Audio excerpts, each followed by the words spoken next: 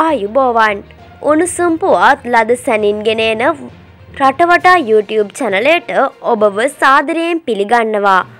මෙන්න දැන් ලැබුණු තවත් උණුසුම් පුවතා සෞඛ්‍ය උපදෙස්වලට පටහැනිව හැටන් කොටගල ප්‍රදේශයේ පවත්වාගෙන ගිය උපකාරක පන්ති නතර කිරීමට මාධ්‍යන සෞඛ්‍ය පරීක්ෂකවරුන් සහ පොලිසිය අදදින කටයුතු කර තිබුණා.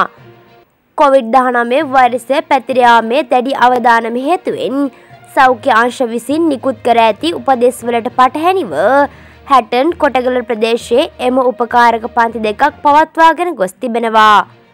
සෞඛ්‍ය අමාත්‍යංශය විසින් මහජන සෞඛ්‍ය පරීක්ෂකවරුන් වෙත උපදෙස් මාලාවක් මේ වන විට නිකුත් කර ඇති අතර එම උපදෙස්වලට අනුව උපකාරක පන්ති පවත්වාගෙන යාම තහනම් කර ඇති බව කොටගල මහජන සෞඛ්‍ය පරීක්ෂක සෞන්දර් රාගවන් මහතා කියා සිටියා.